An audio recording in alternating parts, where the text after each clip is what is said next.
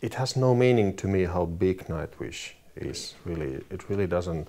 For me, it's all about the band dynamics, so that everybody has a really good time in there, and that we're able to make as good music as possible with the tools and the time that we have. And uh, the nightmare would be that we come up with an album that's not what we wanted to do.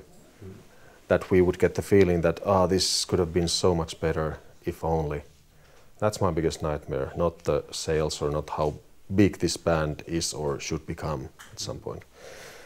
Uh, I just hope we are able to do music in the future, renew ourselves, keep it interesting for the band, for the fans, and keep this lineup till the very end. I don't, I, I can't take another lineup change. Anymore. Yeah, and uh, one question about this: and what makes this lineup for you so perfect? Uh, I don't take it for granted for once, but um, for one, just the past few years, the chemistry has been really good. I think you can see it on stage. You can hear it on the previous album. It's just really good at the moment. But like I said, none of us takes it for granted. You mm. have to work for it. And I, I, hope everybody remembers that in the upcoming tour as well mm -hmm. and in the future.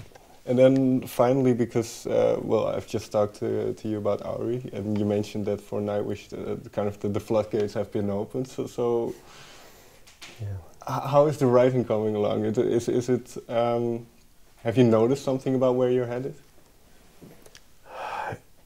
It's still really early. All I can say is that I feel really excited, super excited for the first time in months, years. Um, I have about yeah, I have six songs now. The music, not the lyrics. But I know what these songs are about.